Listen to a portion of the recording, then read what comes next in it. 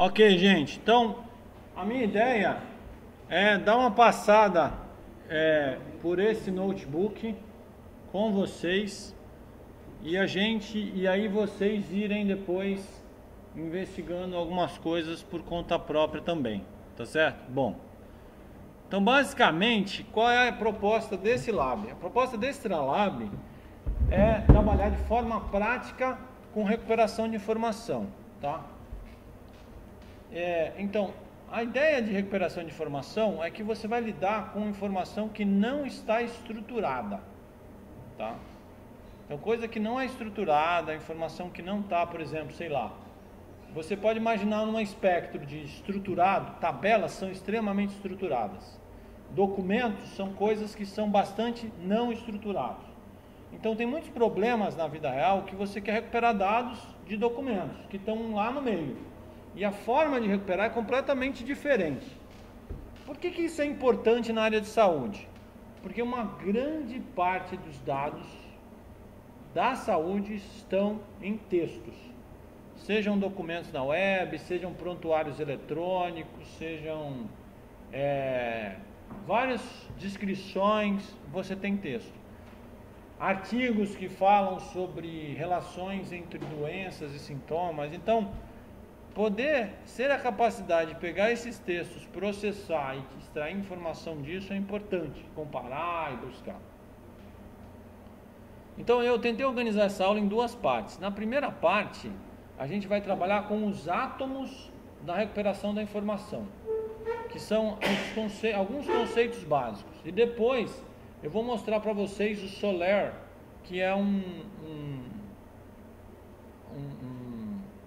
sistema de gerenciamento de, de, de, de um sistema de recuperação de informação da Apache, que aí vai trabalhar no nível mais alto, tá certo? Bom, então os dados que vocês vão acessar aí é, são extraídos desse livro Case Teaching Medicine. O que, que é esse Case Teaching Medicine? Eu estou mostrando ele aqui no formato TXT, mas para quem quiser também tem um PDF, tá certo? Esse é um livro antigo tá? Foi escrito em ah, deixa eu ver aqui, nanana, nanana, 1907. Então ele já caiu em domínio público, tá certo? Quer dizer, na verdade ele caiu em domínio público não porque ele foi escrito nessa data, mas porque já tem mais de que 70 anos da morte do autor, eu acho. Então ele está em domínio público. E o que, que o Richard Cabot fez nesse livro que é genial?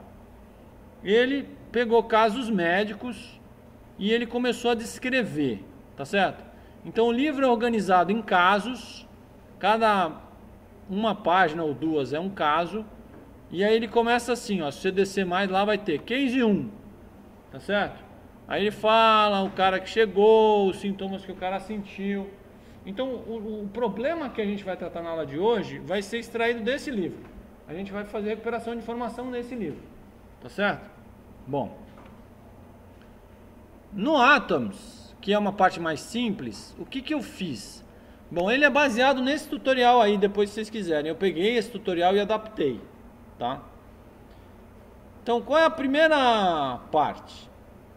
Eu tenho três corpos aqui, ou três grupos de coisas que a gente vai estudar, que em três níveis de complexidade, tá certo?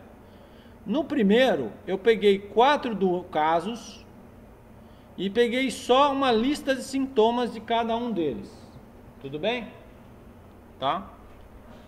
Então, caso 1, caso esse aqui veio do caso 8, esse aqui veio do caso 10, esse aqui veio do caso 17, esse aqui veio do caso 40. Tá certo?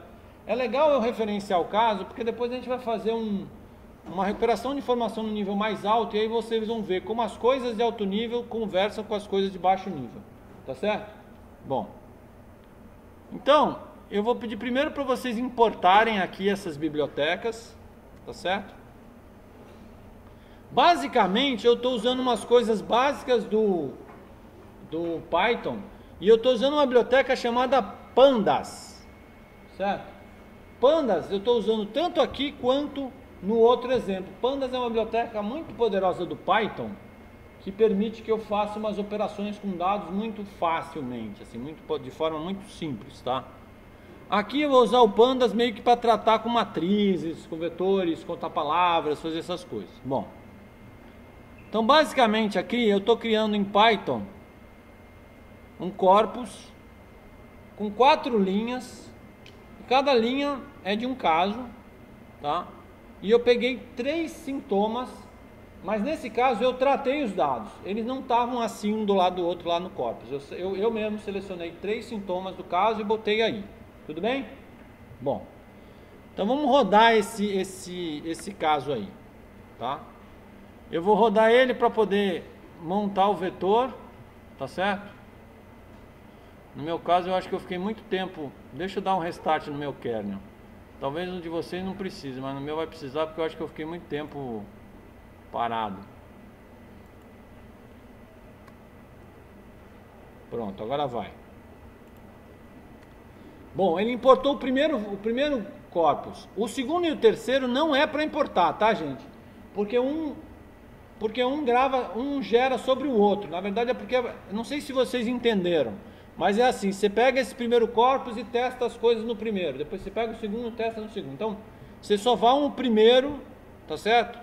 E agora que você pegou o primeiro corpus, vamos é, fazer o seguinte: primeiro a gente vai fazer ele pegar o corpus e separar as palavras, tá certo? Então ele vai montar, montar matrizes onde cada linha corresponde, cada linha da matriz corresponde a uma linha do texto e cada item corresponde a um termo que ele conseguiu separar, certo? A um token.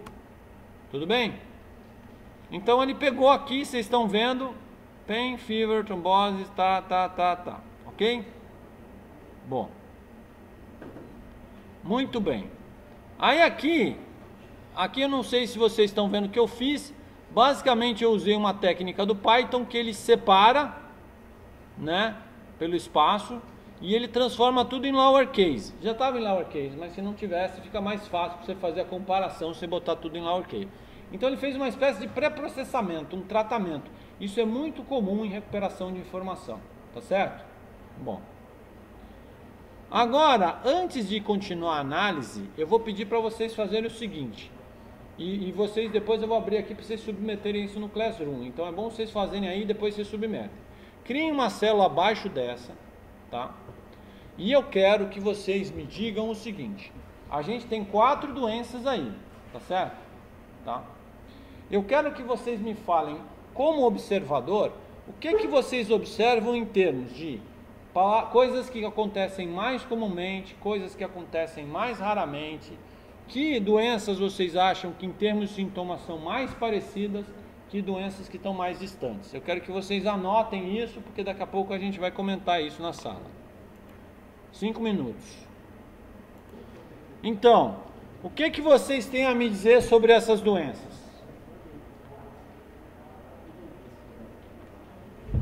Vamos lá. Sintomas. O que, que vocês têm para falar, por exemplo, sobre dor? É um sintoma nesse contexto, tá certo? É claro que eu fiz uma seleção de sintomas para criar o cenário, para vocês entenderem como a recuperação de operação opera. Eu fiz uma filtragem bonitinha para ficar fofinho, bonitinho, para vocês verem, tá certo? É, dor, ele aparece em todos, concorda? Se eu estou fazendo recuperação de documentos, você acha que dor é uma coisa que vai me ajudar a distinguir os documentos? Se eu tiver só esses quatro aí? Não. Então notem, isso eu estou criando uma métrica que daqui a pouco a gente vai usar em recuperação de informação, que é quão comum o termo é. O termo que aparece tudo que é lugar, ele não serve muito para achar as coisas, tá certo? Que termo que vocês acham que seria bom para achar as coisas aí?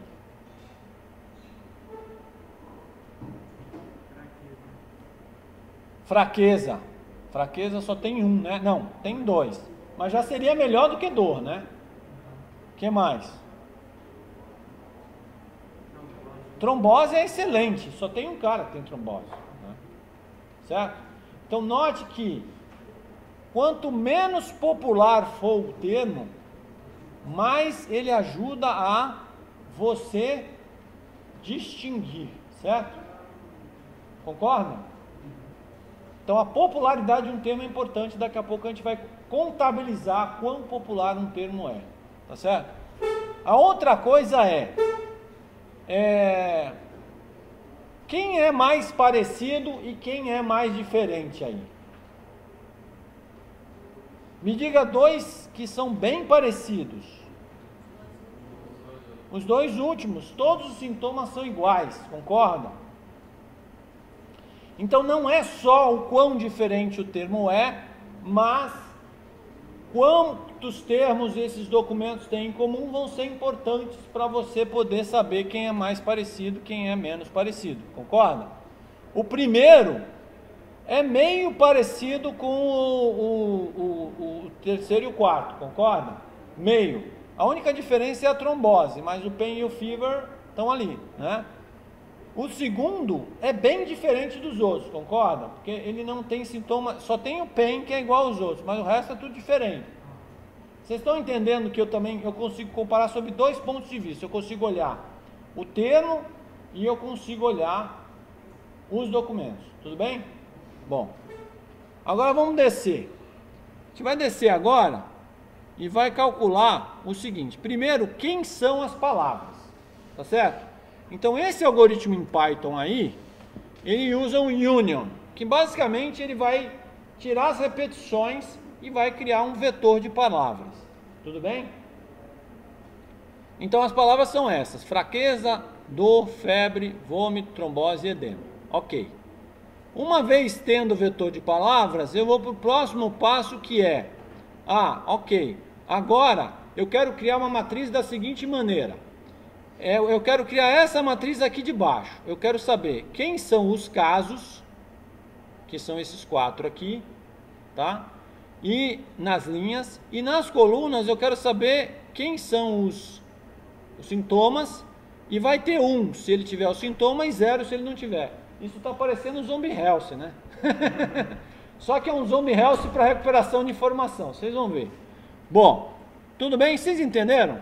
Então esse algoritmo aqui em cima, vocês podem olhar em detalhes se vocês quiserem, eles servem basicamente para transformar, para computar para cada é, caso é, essa, é, é, esse vetor de uns e zeros aqui. Tudo bem? Aí se vocês quiserem depois, vocês podem gastar um tempo estudando como isso foi feito em Python. O que eu quero que vocês me digam é se vocês entenderam o que, que ele faz.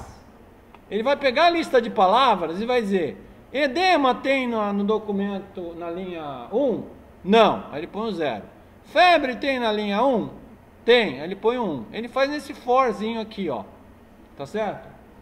Ele vai olhando se tem aquilo ali, tudo bem? Bom. Então essa matriz é uma matriz que me diz quem são os sintomas que aparecem em cada um dos casos, certo? Agora, eu quero saber o seguinte: eu quero saber qual é a frequência do termo, certo? O que, que é a frequência do termo? É um, é um negócio chamado term frequency, tá certo? Tá. É o seguinte: é, dado o número total de ocorrências daquele termo, então olha a equação que tem aí. No denominador, eu tenho o número total de ocorrências daquele termo. Tá certo? Quantas vezes o termo acontece dentro do documento? Certo? Então vamos lá. É, como é que a gente vai fazer? Olha só. Então, a gente vai pegar Aqui as divisões deram muito certinhas, tá certo? Porque eu fiz cada documento exatamente com quatro palavras.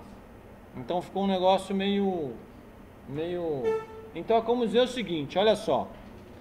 Eu não sei se vocês entenderam. Esse somatório aqui é o número de termos de cada documento, tá?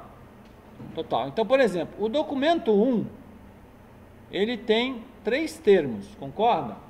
que o documento 1 tem três termos, e dos três termos, um terço é fever, um terço é pain, um terço é trombose. Tudo bem? Então ele ficou 0333333, porque é uma, né? Mas você entendeu? Se eu não fiz nesse exemplo, poderia ter feito. Se o termo aparecesse mais de uma vez dentro do documento, ele ia ganhar mais na proporção. Tá certo? O próximo exemplo, a gente vai fazer um exercício disso. Ah, o termo apareceu várias vezes dentro do documento, então ele vai ganhar na proporção. Tudo bem? Entenderam o que é o termo frequency ou não? Se vocês quiserem entender melhor o que é o termo frequency, vocês podem ir lá no, no documento original e mexer nele, tá? Por exemplo, se eu chegar aqui no documento original, tá? E dizer assim, quer saber? Eu vou fazer PEN aparecer duas vezes, tá? Opa, eu fiz alguma bobagem aqui. Opa, é aqui não, é, não é aqui não, é aqui. Eu vou fazer PEN aparecer duas vezes aqui. Ao invés de uma vez só, PEN vai aparecer duas vezes. Aí você me diz, André, o que, que quer dizer que a palavra aparecer mais de uma vez no mesmo documento? Isso é relevante? É. Por quê? Porque se uma palavra aparece muitas vezes, quer dizer que ela é muito importante naquele documento. Tá certo? Então, por exemplo, se eu fiz o PEN aparecer duas vezes aqui, eu vou refazer todo o processo aqui só para vocês acompanharem, tá certo? Eu vou refazer o corpus, agora o meu corpus tem duas vezes PEN, tá certo? Eu vou refazer meu dicionário, tá? Eu vou refazer a minha matriz. Note que agora na minha matriz a palavra PEN aqui apareceu duas vezes, tá vendo? PEN apareceu duas vezes no documento zero. Tudo bem? E agora no termo frequency, para vocês entenderem, o PEN agora, neste documento, ocupa dois terços. Tudo bem? Tá certo? Bom, então agora que eu falei o que é termo frequency, vocês vão criar uma linha aí embaixo, tá certo? Vocês vão criar uma linha e vocês vão me dizer como é que um termo frequency pode ser usado para, por exemplo, dizer que uma coisa é mais pertinente com o que eu estou procurando ou menos pertinente com o que eu estou procurando. Tá certo? Eu estou procurando alguma coisa, eu faço uma busca, estilo Google, tá certo? E ele vai pegar vários documentos com aquele termo e ele vai usar o termo frequency. Como é que ele sabe se aquele cara é mais pertinente com o que eu estou procurando ou menos pertinente com o que eu estou procurando? Vamos lá, quem é que pode me dizer por que, que a frequência é importante? Por exemplo, eu estou procurando PEN. qual dos documentos, se você imaginar que ele está ranqueando, qual devia aparecer primeiro? Hã? Você imagina que cada linha dessa é um documento, é como se fosse uma página da internet. E você imagina que a minha busca é como se fosse o Google. Eu fosse lá na busca e escrevesse assim, PEN. Tá certo? Bom, uma das questões do Information Retrieval é que nem sempre na recuperação de informação você tem o certo e o errado. Você quer saber o que é mais próximo do que você está procurando. Você quer fazer o que a gente chama de ranqueamento. Você quer dizer assim, esse aqui é o primeiro mais próximo, esse aqui é o segundo que é o que o Google faz, concorda? Você escreve lá umas coisas, aí o Google vai ordenar pelo que ele acha que é mais relevante ou menos relevante, tudo bem? Aí a minha pergunta é: usando a frequência, como é que você sabe o que é mais relevante? Por exemplo, vamos supor que eu escrevi PEN. A minha palavra que eu estou procurando é PEN. Qual dos quatro documentos você acha que ele devia colocar primeiro? o que tem mais frequência? Faz sentido? Provavelmente sim, concorda?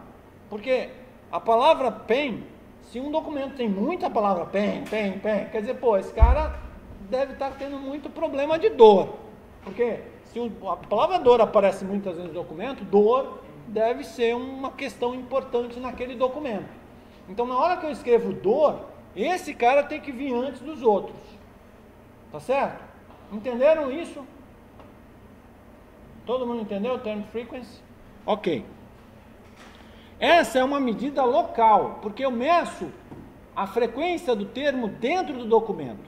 Então ela é local, porque eu meço dentro de cada documento. Agora vamos ver a próxima medida, que se chama Inverse Document Frequency. Tá certo? Bom, o que é o Inverse Document Frequency? O Inverse Document Frequency é essa palavra é uma palavra rara ou é uma palavra popular? Tá certo? Então, eu vou mandar ele calcular o IDF aqui. Vamos olhar aqui o IDF. Tá certo? Bom, PEN. Por que que PEN levou zero no IDF? Hã? Todo mundo tem PEN. Então, o poder distintivo do PEN é zero. Ela não distingue nada, porque ela está em todos. Então, o IDF é exatamente isso. Ela mede a raridade da palavra. Quanto mais alto o IDF, mais rara é a palavra. Quanto mais baixo o IDF, mais popular é a palavra. Zero é quando a palavra aparece em todos os documentos. Então ela não vai me dizer nada sobre ninguém. Certo? Bom. Quem é a palavra mais rara aí? Temos duas palavras, três palavras bem raras: edema, trombose e vômito. Porque eles só aparecem em um documento cada um. Então é uma palavra considerada bastante rara dentro desse contexto aí. Tá certo? Febre e vômito, não, febre e fraqueza aparecem na metade dos documentos. Então o poder. Ah, mas então se é metade, por que, que não é 50%? É porque, note, a fórmula é um logaritmo, tá certo? Então, olha só, o que, que acontece? Como é que você mede o, a raridade da palavra? Tá certo? O que, o que, que você quer saber? Como é que você é, vai saber assim, quão rara é uma palavra? Tá certo? Então, você vai definir primeiro, por exemplo, é, quantas vezes aquela palavra aparece no corpus de uma forma geral, nos documentos do corpus. Tá certo? É, então, e, e embaixo, que é o denominador, tá certo? Deixa eu, deixa eu traduzir aqui. Então, o denominador ele vai medir é, quantas vezes o termo T, você está vendo que ele está para, para cada é, é, D no, no domínio, é, T, T pertencente a V. Então, ele vai, ele vai dizer assim, é, número de vezes que o termo T aparece no, é, é, nos documentos.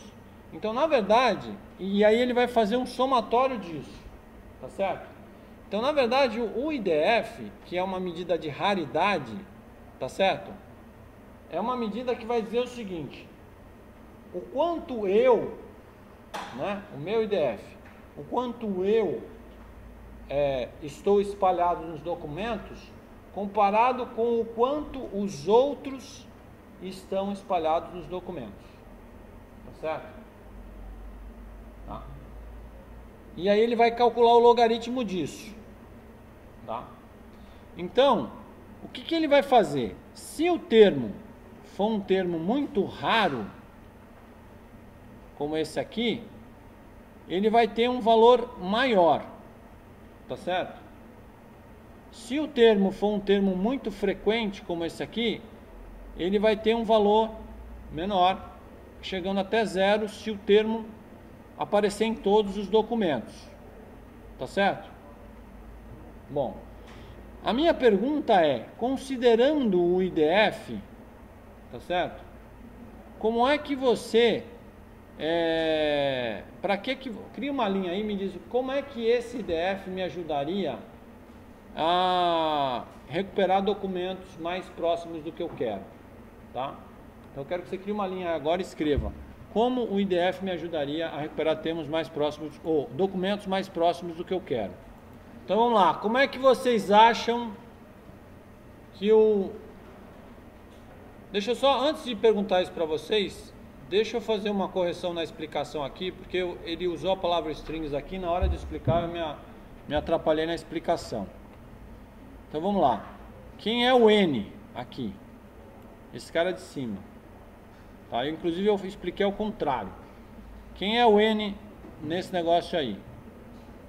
É, é o número de total de documentos. É porque ele fala o número de strings. É porque para ele cada documento é uma string daquela, é uma linha de strings, tá certo? Então, é, mas é, é, o número de documentos do corpus. Quantos documentos o corpus tem? Por exemplo, esse corpus tem quatro documentos, tá certo? Na linha de baixo é dado o termo T, que é esse cara aqui que está no. É o termo que eu estou querendo calcular o IDF, tá certo? Em quantos documentos o termo T aparece? Tá certo? Então vamos pensar em PEN. O, o, o, a parte de cima eu teria quatro documentos, tá certo? A parte de baixo eu teria quatro também. Ele aparece em quatro documentos. Isso daria um, tá certo? Só que você tem que pensar que é o logaritmo desse número, tá certo? Então, qualquer número elevado a zero dá um, não é isso? Então, o logaritmo desse número vai dar zero. Tudo bem? Entenderam? Aí é por isso que o PEN deu zero, porque ele está em todos os documentos. E essa lógica vai se aplicando para os outros. Tudo bem? Esse log, boa pergunta. Eu acho que é neperiano, viu? Quando você não. Hã? Eu acredito que sim. Eu vou confirmar isso. Hã? É, é, é neperiano, né? Bom, então, quem é que me diz para que, que serve o IDF?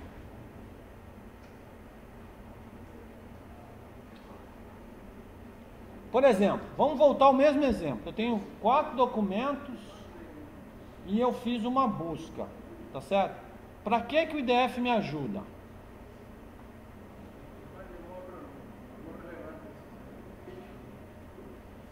Aí eu vou perguntar o seguinte: na minha busca, eu posso ter mais de um termo. Tudo bem? Todos os termos que eu vou usar para comparar no documento deveriam ter peso igual?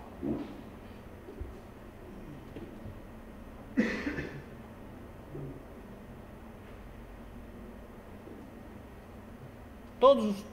Por exemplo, eu, eu cheguei lá no Google e escrevi assim. Ah, por exemplo, eu cheguei lá no Google e, e, e escrevi assim: uma casa ou um celular, por exemplo. Tá certo? A palavra um deveria ter o mesmo peso da palavra celular? Na hora que ele for procurar nos documentos. Tá. Deveria ter o mesmo peso? Não, né? Por exemplo, vamos pensar que eu achei um documento aqui que tem 10 vezes a palavra um e tem uma vez a palavra celular. Esse documento tem 10 vezes a palavra celular e uma vez a palavra 1. Todos têm 11 vezes o que eu estou procurando. Ele deveria ser do mesmo jeito? Não. O que, que eu tenho que fazer?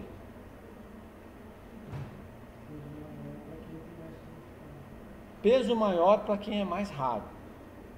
Então, quem é mais raro tem que pesar mais do que quem é mais comum. Então, por exemplo, numa busca como essa, se alguém estiver buscando dor, isso vai pesar zero. Eu até anulo aquilo ali, porque como todos os documentos têm dor, isso não pesa nada na minha busca, todos têm, não vai ajudar. Agora, se o cara escrever trombose, isso tem que pesar bastante, porque isso é mais raro, tá certo? Tá? Então isso faz com que eu faça o cálculo do TF e DF. Tá certo? O que é o TF e DF? O TF e DF é uma composição onde, né? Eu multiplico as duas coisas para dizer o seguinte: cada termo que eu posso usar numa busca vai pesar de que maneira? Vai pesar pela multiplicação entre o quanto às vezes ele está dentro do documento vezes o quão raro ele é. Tá certo? Então, por exemplo, dor.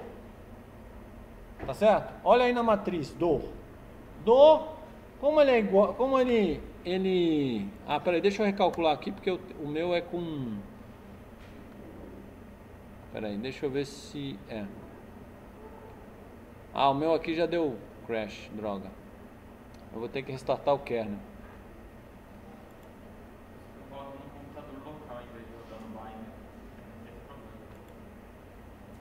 É, mas o Binder tem toda essa vantagem de você chegar aqui na sala, abra um Binder e faça, né? Hã? Google Colab, né? Ele não tem esse problema, não? Tem? Eu, eu nunca usei o Colab, então não, não, não saberia dizer.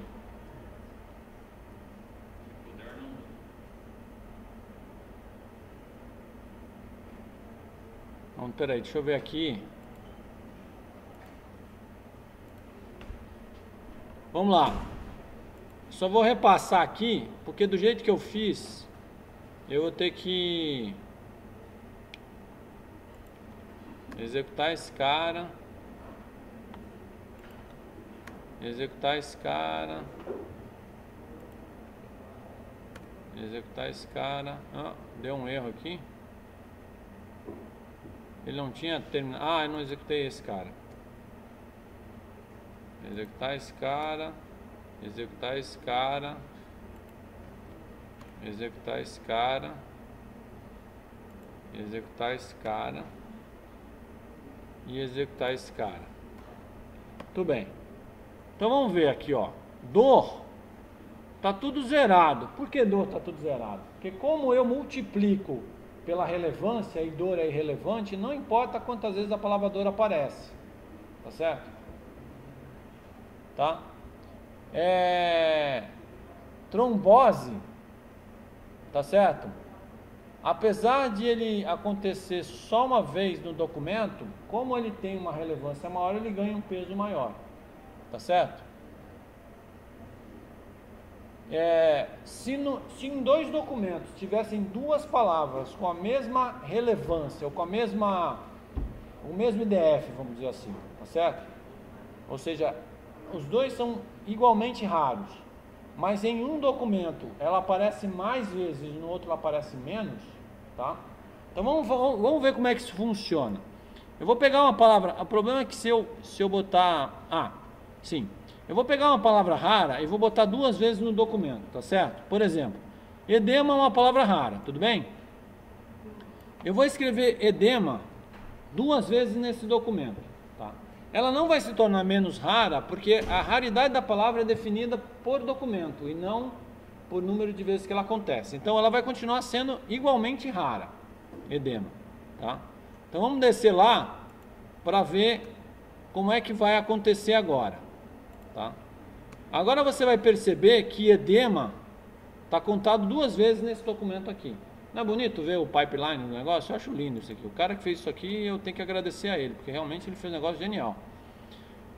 Do ponto de vista do TF, o edema é dois terços, tá certo? Ele contaria igual a dor, que é dois terços, tudo bem? Ele contaria igual, porque é dois terços, entre três palavras são duas. Então ele contaria igual a dor, certo? Só que quando você calcula a raridade, a raridade de edema,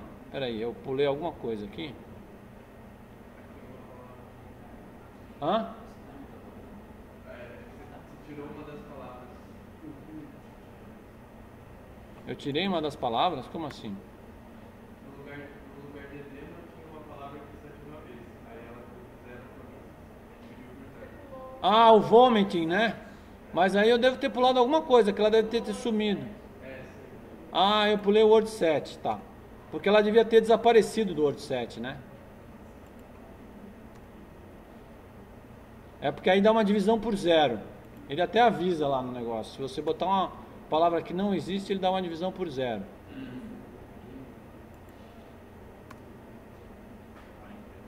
Ok, mas aqui, então vamos lá. Edema tem a mesma raridade de trombose, concorda? Tudo bem? E PEN ficou com raridade zero. O que, que vai acontecer quando você juntar o TF e o IDF? Vamos ver.